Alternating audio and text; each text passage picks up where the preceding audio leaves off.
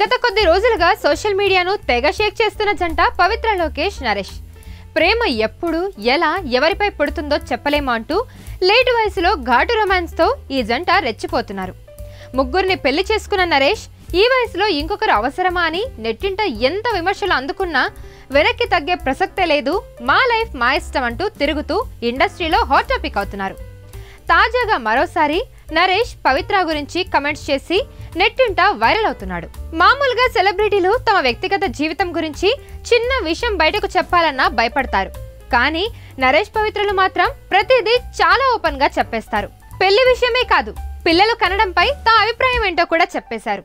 ఇప్పటికీ పవిత్రతో కలిసి పిల్లలు కనడంలో తప్పేం లేదని నరేష్ అంటున్నాడు. తాను పవిత్ర శారీరకంగా పర్ఫెక్ట్గా ఉన్నామని ఇప్పటికి మేము మెడికల్గా పిల్లలను కనొచ్చు అంటూ నరేష్ చెప్పారు. కానీ ఇప్పుడు మేము పిల్లలను కంటే నాకు ఎనభై ఏళ్ళు వచ్చేసరికి పుట్టే బిడ్డకి ఇరవై ఏళ్ళు వస్తాయి. అలా అవసరమా? భార్య భర్తలుగా మేము కలిసి ఉంటాం. పవిత్ర పిల్లలు నా పిల్లలు ఇద్దరు మా బిడ్డలే అనుకుంటాం. మాకు ఇప్పుడు ఐదు మంది పిల్లలు ఉన్నారనుకుని బతుకుతున్నాం.